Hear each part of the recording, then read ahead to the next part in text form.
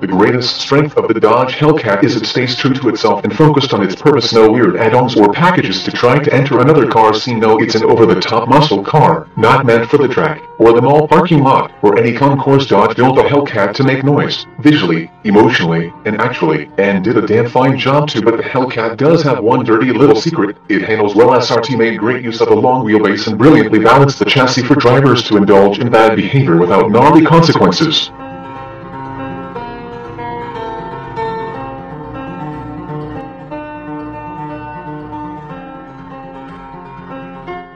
In other words, it's fun to take this big beast to the track to lap or drift to Huna Hellcat is a three-step process. 1. Overwhelm the rear with power. 2. Counter steer. And 3. Massage the throttle to maintain the angle easy and all a repeatable if the basic car needs one thing. Maybe, just maybe, it could use a little more tire you know, a security blanket of sorts to give the front a bit more grip to turn and stop, and the rear the capability to accept a touch more power on corner exit Dodge agreed.